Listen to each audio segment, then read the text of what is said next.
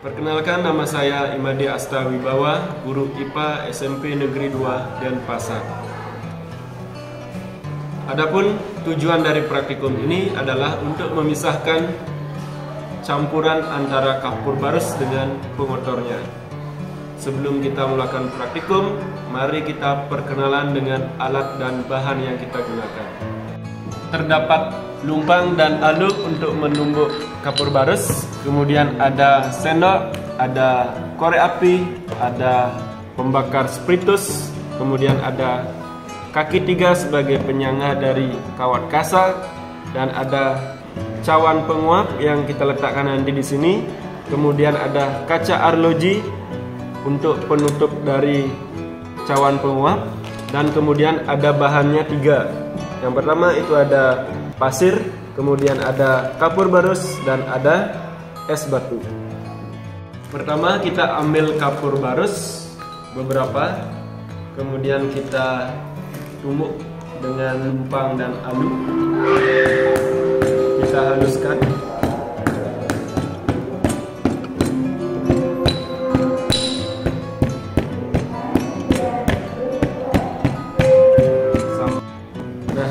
Sampai kapur barusnya kelihatan seperti serbuk serbuk.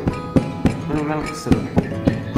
Nah kita tumbuk sampai kapur barusnya menjadi serbuk-serbuk halus seperti ini. Semakin halus semakin bagus. Nah sekarang serbuk kapur barus kita campurkan dengan pengotornya yaitu butiran pasir. Kita ambil beberapa butiran pasir kemudian kita aduk sampai rata dengan kapur barusnya nah, kita tambahkan lagi sedikit supaya seimbang antara kapur barus dengan pasir.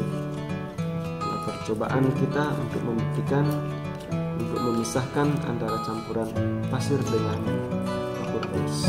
Nah, kita cukupkan kemudian kapur barus bersama pengotornya kita pindahkan ke cawan penguap. Nah, ini namanya cawan penguap.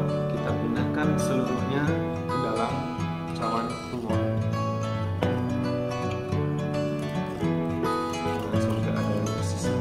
Kita taruh semuanya di sini.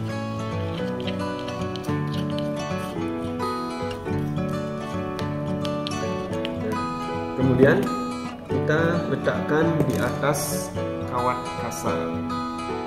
Dan jangan lupa kita tutup dengan kaca arloji. Ini kacanya bersih. Kemudian kita amati apa yang terjadi dengan campuran kapur barus dan pasir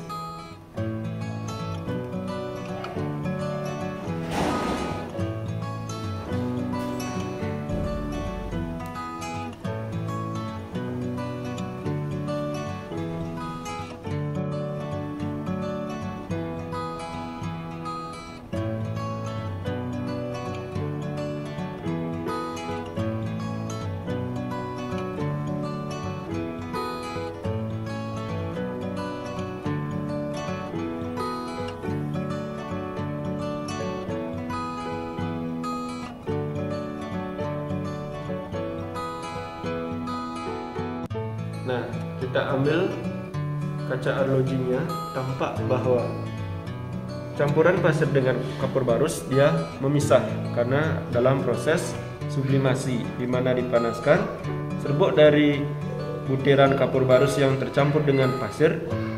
Pasirnya terendap di bawah kemudian kapur barusnya menguap ke atas. Karena di atas kita isi es dia mengembun kapur barusnya dan menempel dalam bentuk padatan seperti ini. Nah, bisa dilihat. Nah, ini kapur barus yang sudah murni kembali tanpa campuran dari pasir. Nah, itu saja eksperimen untuk kita hari ini. Kita ketemu di eksperimen yang berikutnya. Salam IPA.